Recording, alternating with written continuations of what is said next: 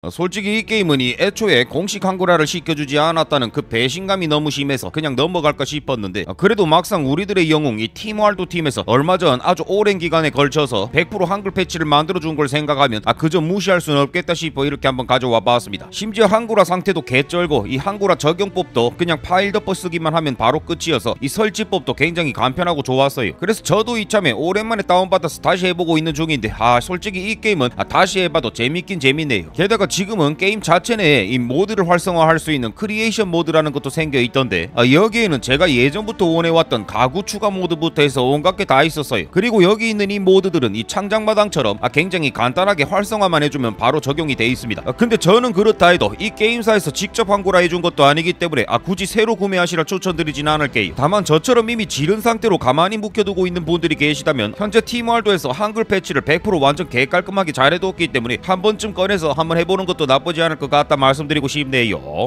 WrestleQuest 여러분이 이 게임 어디 들어나 보셨습니까? 사실 저는 이 게임 2주 전에 공식 한글화가 되었길래 아 바로 구매해서 혼자 몰래 즐기고 있었던 게임이에요. 근데 이것도 은근히 재밌습니다. 막 god게임이다 이런 건 절대 아닌데 아 뭔가 한때 레슬링을 즐겨봤던 저로서는 이 레슬링을 소재로 한 RPG 게임이라는 점과 마치 Punch Club이 떠오르는 듯한 이 병맛스러움이 아주 마음에 들었어요. 일단 이 게임은 world를 돌아다니면서 quest도 깨고 이 다른 선수들이랑 레슬링 시합을 하면서 아 점점 캐릭터를 leveling 시키면서 성장시키는 그런 게임인데 저는 이 게임에서의 전투가 굉장히 인상적이었습니다. 왜냐면 이 게임에서의 전투는 무조건 적을 쓰러뜨리기만 한다고 좋은 게 아니라 이 여유가 좀 있다고 한다면 아, 다양한 쇼맨십을 통해 이 관중들로부터 아, 호응도 얻어야 되고 또 적을 때려 눕혔을 때조차도 이 finish move를 타이밍에 잘 맞춰줘야 깰 수 있었기 때문이에요. 그래서 저도 계속 더 멋진 경기를 선보이기 위해 이 오바도 싸고 그랬었는데 아마 여러분도 평소 레슬링 주제나 이 병맛스러운 게임을 좋아하신다면 이 마음에 들어 하시지 않을까 싶네요.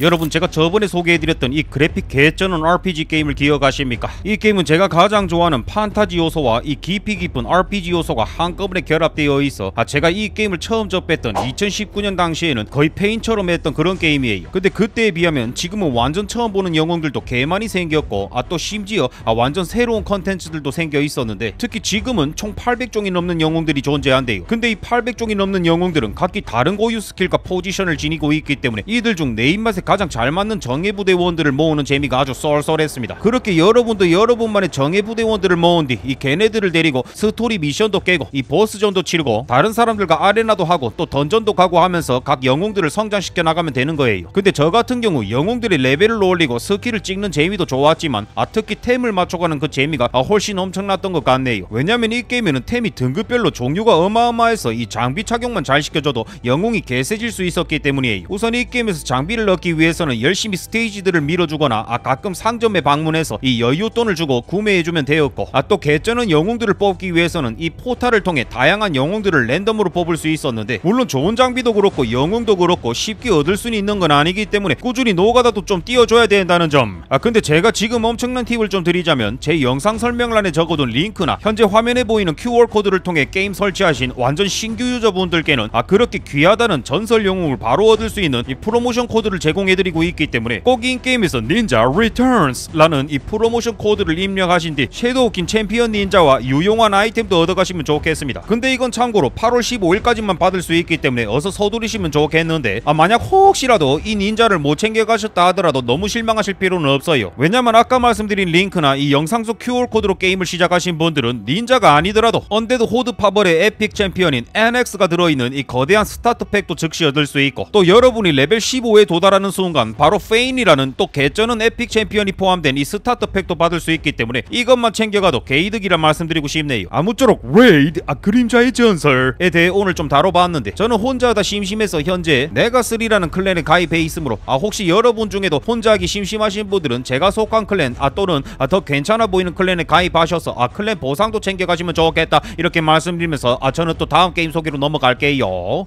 Roots of Pacha 이 게임은 제가 아주 오랜 옛날 이 개학고 때 영상으로 올렸던 게임인데 아 이게 열흘 전 공식 한글 패치가 되었습니다. 이 게임은 선사시대의 부족 사회를 배경으로 한 생활 장르의 게임인데 여기서 여러분은 부족의 일원으로서 농업도 발전시키고 동물도 길들이고 또 아이디어 토론을 통해 이 새로운 연구도 해가며 문화를 차근차근 발전시켜 나가는 그런 게임이에요. 뭐 게임의 평점만 보셔도 아시겠지만 상당히 띵작에 버금가는 재미와 이 깊이를 지니고 있습니다. 게다가 혼자 하기 심심하면 친구를 불러와서 친구와 함께 마을 건설도 할 수 있어요. 일단 제가 대충 훑어는 봤는데 아 이게 공식 한글화라 그런지 한글 상태는 보기에는 매우 양호하고 좋았습니다. 게다가 제가 2년 전 처음 했던 그때랑은 비교가 안 될 만큼 많은 부분들이 완성도가 높아져 있었는데 저도 나중에 시간이 날 때 이 게임은 다시 한번 해봐야겠네요.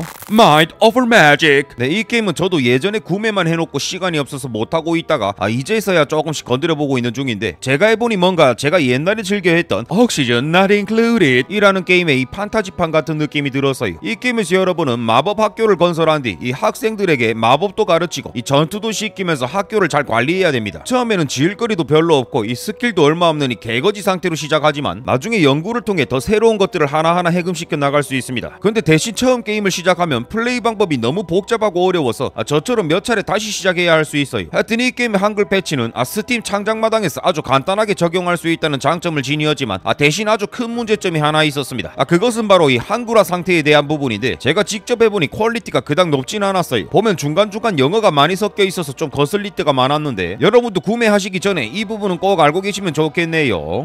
Kynseed 이건 제가 저번에 가져왔었지요. 네 바로 힐링 게임의 띵작 Kynseed도 최근 한글 패치가 떴었습니다. 현재 100%까지는 아니지만 이 플레이하는 데는 전혀 지장이 없는 수준까지 번역이 되어 있기 때문에 예전부터 언어 장벽 때문에 존버하셨던 분들은 이번 한글 패치를 통해 꼭 한번 즐겨보시란 말씀드리고 싶네요. 일단 이 게임은 겉모습만 보면 뭔가 Stardew Valley 같은 완전 생활 게임인 것 같지만 아 실제로 해보면 플레이 방식이 완전히 달랐습니다. 여기서도 단순 농사나 이 채광 뭐 그런 노가다는 다 할 수 있긴 한데 아 대부분의 자원들은 quest를 깨는데 사용되거나 여러분만의 상점에서 물건을 만드는 그런 용도로서 사용되고 그랬어요. 이 게임에서는 대장간, 잡화점, 여관 그리고 약국 뭐 이런 정도의 매장들을 운영하며 돈을 벌 수 있고 또 필드로 나가게 되면 다양한 난이도의 dungeon에 들어가 이 몹들을 잡고 템farming하는 것도 가능했어요. 저는 특히 이 게임에서의 전투가 굉장히 신선하고 좋았던 것 같네요. 언뜻 보면 턴제 전투인 것 같지만 아, 항상 타이밍에 맞춰서 움직여가며 적들을 타격해야 하는 굉장히 긴장감 넘치는 그런 방식으로 되어 있었습니다. 근데 이 게임에서 더 쩔었던 기능은 바로 환생 기능이었는데 아 저도 이건 아직 제 본캐가 너무 아까워서 못 해봤긴 했지만 아 들어보니까 여러분이 현재 키우는 캐릭터로 결혼을 하고 나면 애가 생기는데 이 애가 생기면 여러분이 원할 때 언제든 이 본캐의 능력치를 다음 후계자에게 이 넘겨주는 그런 것도 가능하다고 합니다. 이 개쩔지 않습니까? 하여튼 자세한 리뷰 영상은 제가 한 편 만들어 둔 게 있으니 그거 참고하시면 좋겠네요.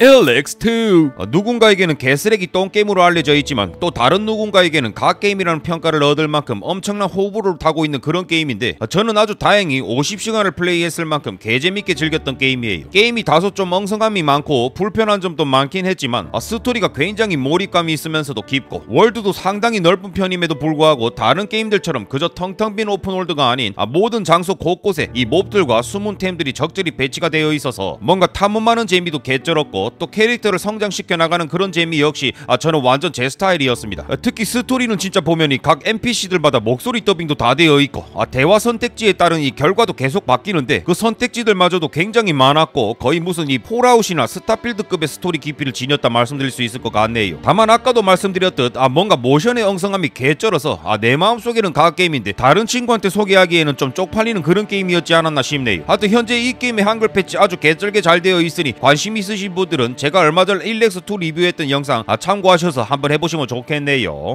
Abiotic Factor 네 이거 제가 저번에 영상으로 소개해드렸는데 제 개인적으로는 진짜 초갓게임이라 보는 정도로 개쩔게 재밌게 즐긴 게임이에요. 아, 살짝 old해 보이는 하프라이프풍의 그래픽 때문에 호불호가 좀 심하게 갈릴 거라 생각하지만 어, 저처럼 하프라이프풍의 그래픽을 오히려 좋아하는 분들은 아 이 게임 딱 시작하는 순간 바로 며칠 동안 헤어나오지 못하실 겁니다. 진짜 이 무시무시한 시설 속에서 나만의 cozy한 장소를 찾아서 아 기지를 짓는 그 재미도 있고 또 탐험을 할 때마다 추가되는 이 제조법들 덕분에 이 계속해서 새로운 템들을 만들고 점점 강해져가는 그 성장의 재미도 개쩔었고 또 주변 곳곳의 dark한 분위기는 이 공포심을 자극할 정도라 저는 아주 이 스릴 있고 개재밌게 즐겼습니다. 게다가 이건 현재 아직 early access판이라 아, 저 같은 경우 예전에 이미 30시간만 딱 플레이하고 잠시 접었었는데 지금 다시 돌아와서 보니까 아, 제가 안 하고 있는 동안 또 대규모 업데이트가 여러 차례 나와서 지금 play time이 훨씬 더 길어져 있었어요. 하여튼 진짜 말이 필요 없습니다. 아, 이 게임은 이제 친구들이 있으면 같이 하면 훨씬 더 재밌는 게임인데 게임인데 뭐 친구가 없다 해도 솔로로도 충분히 플레이가 가능하다는 점 알고 계시면 좋겠네요. 하여튼 저는 이 게임 그래픽에 대한 거부감만 없다 하시면 꼭 한번 해보시라 말씀드리고 싶은 정도로 갓게임이라 말씀드리고 싶네요. 블랙 스카이랜드 이 게임도 한글 패치가 나왔다고 하던데 아 사실 이 게임은 저도 지금 다운을 받을지 말지 생각 중이라 이 설명은 생략하고 그냥 이 게임도 한글화 되었다라는 내용만 좀 전달해드려 봅니다. 하여튼 이 게임 말고도 최근 콘스크립트라는 공포 게임이랑 워해머 로그 트레이더랑 제로 시버트라는 그런 게임들도 이제 한글화 패치가 되었던데 솔직히 그 게임들은 제 스타일은 아니라서 걸렀어요. 하여튼 우리 구독자분들께서 한글화가 된 게임들을 워낙 좋아하시기 때문에 앞으로도 아 가끔 한글화된 게임들이 어느 정도 많이 모였다 싶으면 이런 식으로 한 번에 모아서 소개해드려 보도록 할게요. 하여튼 아까 전에 이 영상 중간 부분에 은근슬쩍 레이드 그림자의 전설 PPL 광고도 살짝 들어 있었는데 혹시 관심 있으신 분들은 제 영상 링크 통해 꼭 귀중한 보상 다 얻어가시라 말씀드리면서 인사드리겠습니다. 하여튼 오늘도 여기까지 봐주신 우리 구독자 여러분 진심으로 감사드리고 여러분 사랑합니다.